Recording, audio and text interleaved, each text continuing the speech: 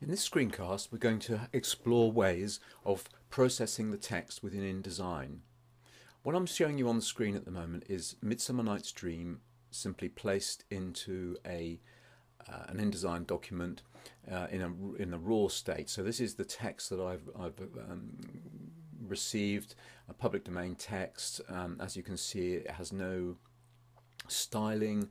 Um, there are spaces between uh, at the beginning of each line. We've got um, character names in uppercase uh, on the first line of that actor's speech, and um, we've got various other aspects to this that we will we will want to change.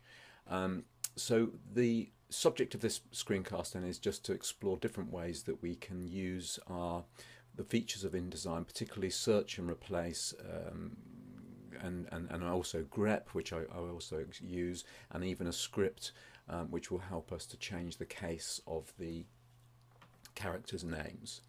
Okay, so let's um, let's just explore this to begin with. I'm going to use the find dialog box here.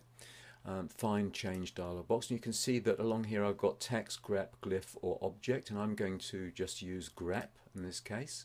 Grep is a way of uh, setting up a pattern, looking for a pattern and, and, searching for that pattern, possibly repeating over that pattern on the whole text and then um, replacing that with something else, possibly even a style.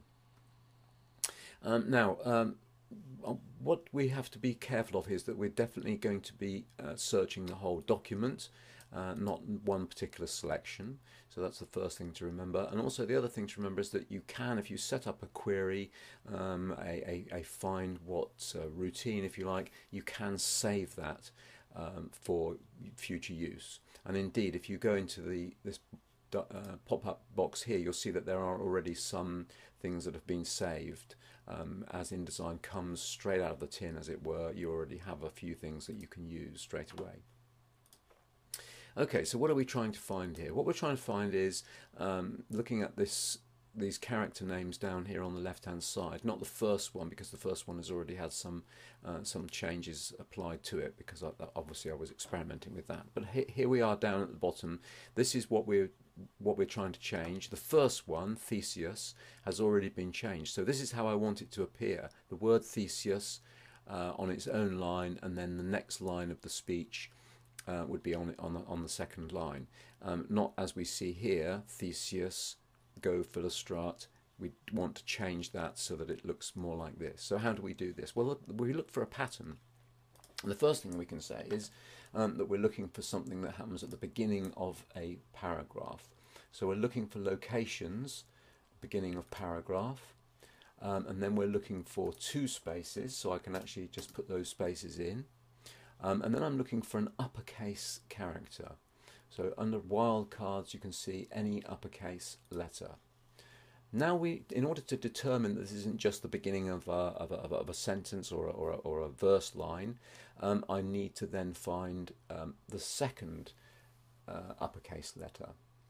So we go here to, again, wildcards uppercase letter. But now in order to determine that this is a complete word, we're now going to say, okay, repeat that now.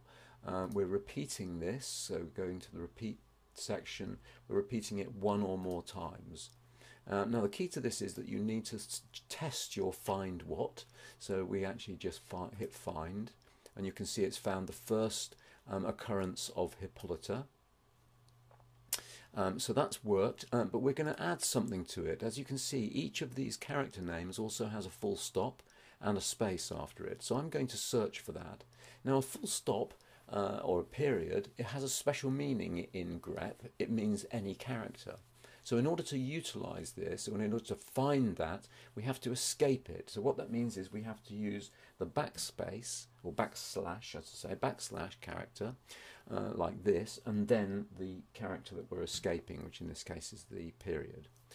Um, then we're following that by with another space. So let's actually just do that again. So there you are, it's, it's found that, it's found that. Just do it a few times just to be sure that we're um, selecting or, or, searching and finding that particular pattern throughout the whole text. Okay, so now what about the next thing is what do we change that to? Okay, to change that to something, um, what we need to do first of all is to determine what it is that we found and what it is that we want to keep. Well, what we actually want to keep is the character name itself, not the spaces in front of the word, and not the full stop, and not the following space. So, what that what that basically means is that between the first uppercase character and the remaining uppercase characters, we want to define that, and we just simply do that by putting a parenthesis around that section. Okay, so now we have that, we've determined that is our uh, uh, the piece of text that we want to keep. The rest of it we're going to throw away. So we're changing it to, what are we changing it to? We're changing it to the what we call the first found, in other words, found one. Now that, as you can see, that puts dollar one onto the screen. Okay, we're changing it to that. We're, we're, we're, getting rid of all the excess material either side of it, but also we want to follow that with a, pay, uh, a paragraph break. So again, we can just choose our end of paragraph like this. So we're changing it from that to that. Let's just see if that works. Let's just do one more find and change that a, a one off. Okay, so as you can see, we've uh, we've now achieved that. We've got um, the word Theseus is now on its own line. Um, now there are a number of other things we can do at the same time. We might, for example, want to uh, change the format of this, but I'm going to do this in two steps. It makes it a little bit easier to understand. So let's actually now hit change all. So throughout the whole document, I'll bring that onto the screen, you can see that we found 499 uh, replacements. Okay, so now every one of those character names uh, is uh, successfully positioned at the beginning or on its own line and then the next line, as you can see, is um, is the first line of our prose. Okay, now we haven't finished yet because what we also want to do is we want to change the um, the style of that particular uh, line, which is, is now a paragraph. We want to change the style, so we want to apply um, a style so that that's displayed differently from, let's say, the lines of the prose or the lines of the verse. Um, so we're going to conduct the search again, but this time we of course, don't need uh, this space at the beginning because in fact there is no longer one there. Um, there's no longer a full stop and a space after it, um, but what there actually is is also a, a, paragraph break, so we can we can just find that as well. Um, now I'm also going to I'm just going to remove this here because we don't want to put in yet another uh, paragraph break at the end of it, um, but we're just going to find let's in fact thinking about it we don't really need that uh, that break there. So I'm going to just find uh, a few of those just to be absolutely sure that we've we've got the right thing. Um, now what we're doing here is we're simply changing it to itself effectively but at the same time we're going to apply a new format to it. Um, so here uh, under change format I'm now going to select a format um, that I've already created. I've already created a format uh, for this uh, where are we? It's called character.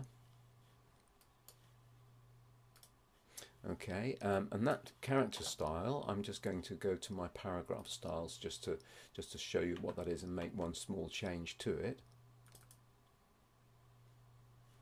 So in my paragraph styles for character, the the the, the, the name that the, the style that I want to apply to this, um, I've currently got some well, a lot of basic things here. We've got some different uh, fonts, we've got a different size, um, but what I'm going to do is to change this to small caps.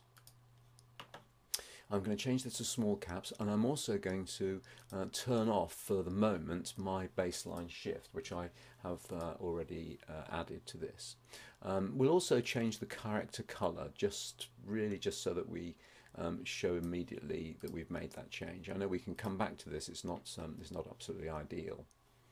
Okay, so now we're having done that, we can now uh, find, let's find next. Okay, and then change that. Okay, now we should change all. And as you can see, we've got 502 of those now, and they've all been changed. Okay, so we now have, um, almost what we need, but you'll notice that although I've applied a small caps style to this um, style, for this paragraph style, it's not displaying like that at all. It's simply displaying up all uppercase characters. That's because it is effectively typed in in uppercase characters as in this case, this, this was probably taken from a, um, a, a, text, a printed text, and scanned in, so it may well be that it's come from that. But we don't really want that. We want to be able to control the style of this. So what we really want is title case for this. Um, now, in order to achieve title case, the only, of course, we could go through one at a time and make this change, um, and I can show you how that works. So, for example, if I select the word Theseus at the top of my page here um, and go to Type, um, and then go to Change Case, you'll see that I have something here called Title Case, and that simply changes it now. And now, as you can see, we have um, small caps applied to this. Um, but uh, we don't want to go through and do every single one of those. There's nothing, unfortunately, under our Find Change dialog box, Change To, that gives us that ability. So what we have to use now is a script um, which we can then use to go through and, and, and automatically make these changes. Now I should warn you that scripts, in the way that they work, they're basically going through one after the other in, in a sort of batch process and applying some kind of change. But there's really very it's very very difficult to undo something like that because this is something that's going to happen over and over again. Um, and undo, although we have multiple undos in InDesign, we would probably in this case have uh, four or five hundred times where we would have to undo. So it's totally impractical. So therefore, it is quite destructive. Um, so it's very important that we therefore save this. So I'm just going to save this um, as um, number two.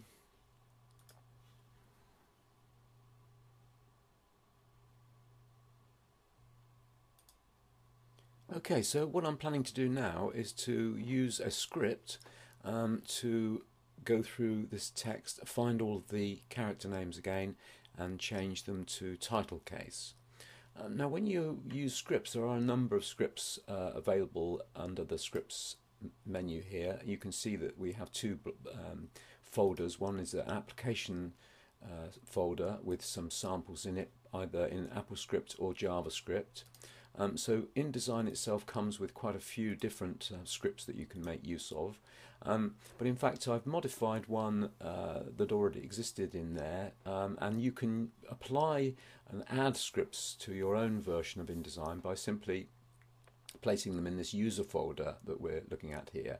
Um, in order to do that, we need to click on that, or right click on it, and then say Reveal in Finder. That immediately goes to the place where that uh, scripts panel folder is, which of course as you can see is empty. Um, so I now need to um, add to it, I'm just going to bring my, uh, my, my, my, other um, window open here and just drag this um, script into that window and it's called change case and it's a JavaScript file. Okay, so that's now in there, and if I go back here, you can see immediately that that's brought that into um, into my user folder. Now, in order to make use of this, um, we also have to utilize uh, the, the find uh, dialog box again. So we'll bring that up and we'll just run through exactly what we had before. So we're looking for uh, the beginning of a paragraph,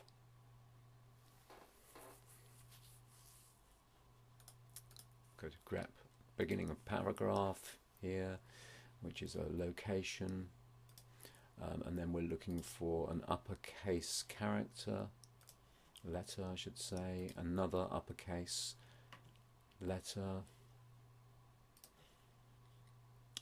and then we're repeating that.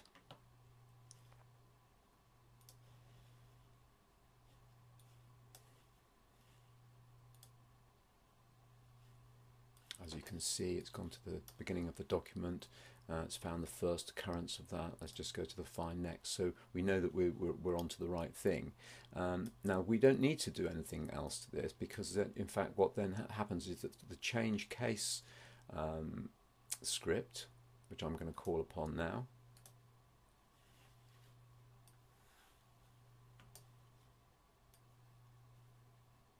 um, makes use of uh, the find what box. Uh, I mean, unfortunately, I'm going to have to modify the script because it doesn't because it's displaying properly everything in it. But um, the top uh, line is the one that changes the type, make, makes it go to title case, uh, and we again apply find to that, um, and then you can see if I just do one, you'll see that it's it's worked, and I'm now going to hit change all.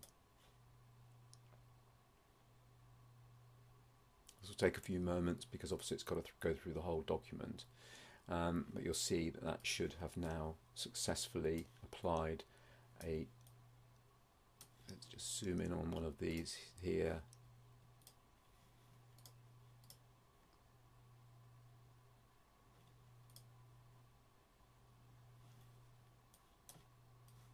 Turn that off now. And as you can see we've now uh, achieved that um, in, in, in every case okay. Thank you very much